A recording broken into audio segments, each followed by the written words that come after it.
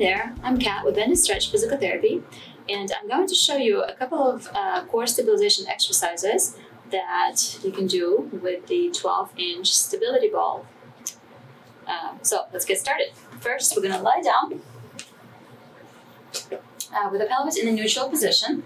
So we have a little bit of a curvature in the back. Our pelvic bones and our pubic bone are in the same plane.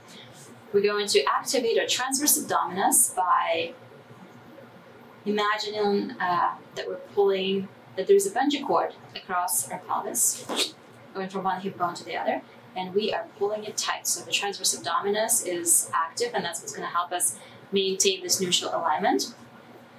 We're going to keep the ball underneath our right heel. As we inhale, we're going to slide the ball away, and then exhale, pull it back up without tilting or shifting our pelvis. Maintaining neutral.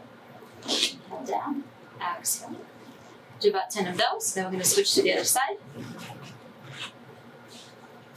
Right leg nice and straight, left leg on the ball. We are, again, finding our neutral position of our pelvic stability.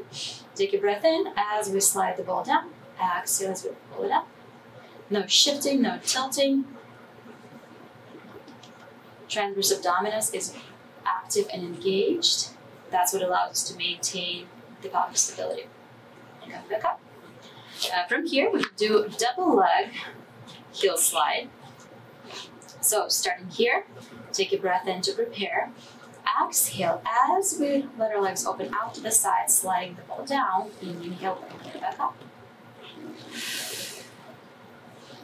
Inhale up, make sure that we're breathing, make sure we're maintaining neutral pelvis. I like to keep my fingers um, on the pelvic bone on, on the rib cage, which allows me to know that I keep my core engaged and that I'm not shifting or tilting.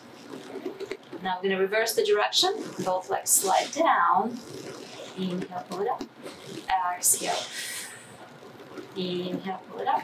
You might notice that one side is more difficult to maintain than the other. And one more time. Inhale. Exhale, back up. All right. From here, um, we are going to place the ball underneath our pelvis. All right, now I'm going to put the ball underneath my sacrum, my tailbone, so that I can be in the tabletop position. So instead of neutral, I want you to use abdominals and bring your pelvis into slight imprint. Take a breath in, one leg comes up into tabletop, exhale, the other floats up. So my pelvis is on the ball, it adds an interesting level of um, instability, which forces me to work my core a little bit more. It also helps me maintain imprint um, from this position. So we're going to take a breath in, exhale, hinge your hip down and come back up. Inhale up, exhale down, inhale up. Now if you can go all the way down, you can shorten the range. If you feel that you lower your leg all the way down, it makes you arch. We don't want that. So we want to maintain the imprinted position as you lower your leg as far as you can maintain pelvic stability. And breathing, inhale on the way down, exhale on the way up. Good from here, we can um, do scissors. So both legs lift up towards the ceiling. Again, maintaining imprint, we can scissor one leg down, exhale, inhale, lower down, exhale, lower, and up. To add a dynamic component, we can go a little quicker and pulse at the end. Also allows us to add hamstring, dynamic hamstring stretch.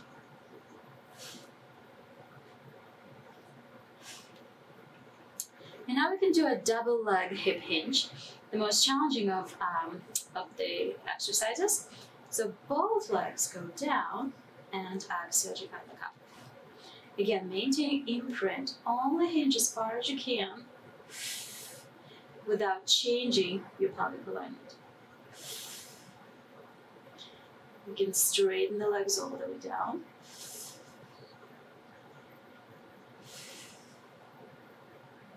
Back up.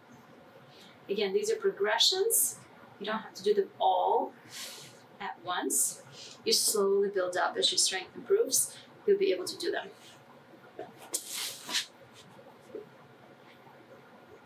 Okay? Um, all right. Another exercise that we can do with the ball is working on our glutes. So I like to put the ball between my knees for that um, inner thigh adductor connection. Heels are hip width apart. I'm going to start with a neutral pelvis. So I'm finding my neutral pelvic position where my hip bones are in the same line as my pubic bone. I'm engaging my transverse abdominis. Exhale, I'm going to press through the heels and lift my hips up. So I'm hinging up. Now make sure you're not overly extending through your rib cage. So you want to use kind of just lift your pelvis up as a unit. Exhale, lift, inhale, lower. I want to make sure that I'm using my glutes to initiate the movement to um, increase the challenge progression is we're going to hold this connection, hold our hips up as we straighten one leg and bend it. Now the key is to maintain pelvic stability. As my leg straightens, the tendency is to want to drop. So I really have to use opposite glute to help support me in this leveled position. Straighten and make sure that you're breathing, not holding your breath. And lower back down. Okay, to progress further, we can put the ball underneath our heel on one side. So my heel is just floating, right? I have some support. Now I'm going to do single leg bridges. So I'm lifting up, so my right heel is there for balance and a little bit of support. But most of the work is on the left side and lower. Switch to the other side. This way, the ball helps me to still have some weight distributed onto the left side. So it's not a single leg bridge quite yet, but I'm building up towards it. Lift and lower. Once you can do 15 to 20 of these and they feel pretty good, you feel like you're strong and your pelvic position is well maintained. Now we're gonna shift this ball towards our left side. So I'm pressing my left arm into the ball, activating the back muscles. I'm activating my lats, I'm activating my tricep. So I'm activating my whole left back side. I'm gonna bring my left leg into tabletop. I'm gonna hold it there. And now I'm going to do a single leg bridge on the right side. So I'm gonna lift, exhale up, inhale lower. As I'm pressing into my right heel, I'm also pressing into my left arm. So I'm using my right glute and muscles on the left side of my body. So I'm working my entire posterior oblique sling, is what we call it, in physical therapy. Really important muscles that have to work together synergistically um, in order to do many functional tasks. So now we're gonna switch to the other side. Right arm presses down into the ball. My right leg is on the tabletop. Maintain my neutral pelvis. I'm gonna take a breath in. Exhale.